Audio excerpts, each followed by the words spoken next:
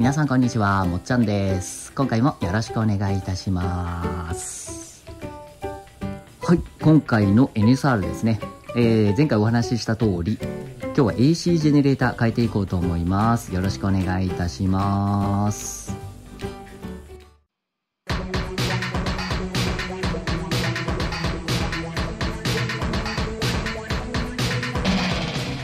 えっ、と AC ジェネレーター交換だけはねめちゃくちゃ簡単なので、えー、もうね、サクッと終わらせていきたいと思います。でまずね、このアンダーカウル外しましょう。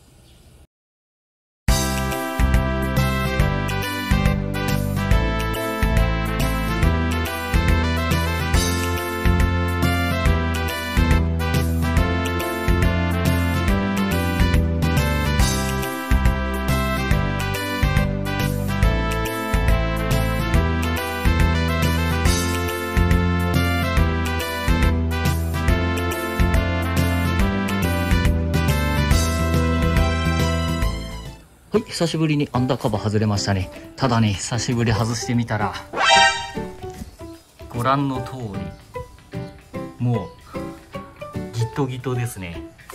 おそらく、この、フロントバンクじゃない、リアバンク、排気漏れしますね、これおそらく。せっかく開けたんでね、もうあのー、この辺もちょっと掃除して、排気漏れも直しましょう。その前にまずはメインのねパルスジェネレーター変えますね。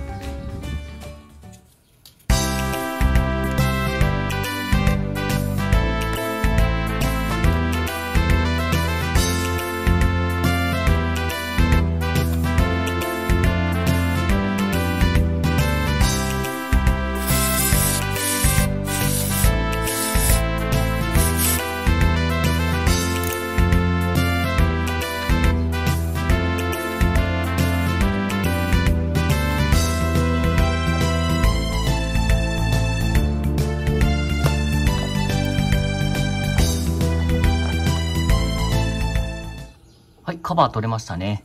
えー、パルスジェネレーターは、これですね。はい、これを交換していきます。なので、まず外していきますね。えー、その前にね、カプラーをね、ちょっとここに隠れてるので、はい、これを外さないといけませんね。はい。ではしていきましょう。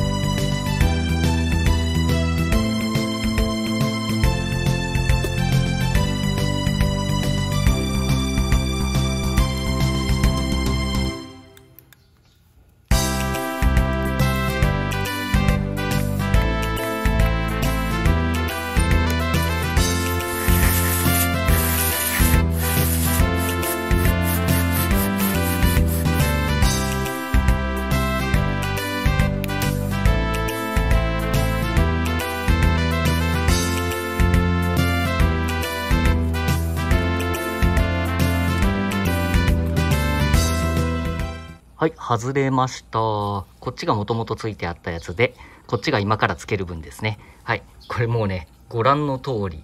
まあ、こっちはまだいくらかいいですけど、こっちひどいですね、これね。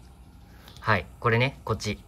ちょっと綺麗に掃除したっていうのもありますが、はい、これにね、変えていこうと思います。じゃあ早速ね、つけていきましょう。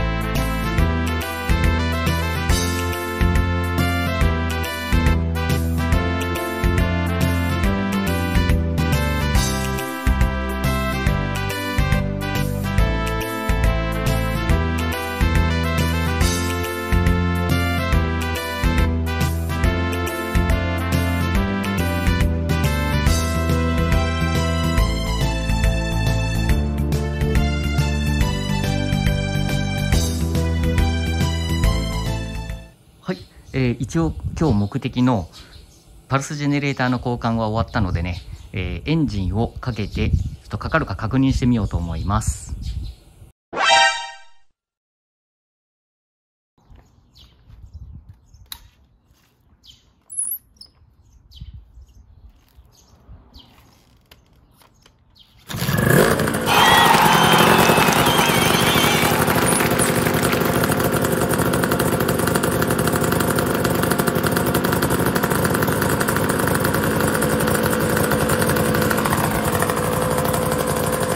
まさかのキック一発でかかりました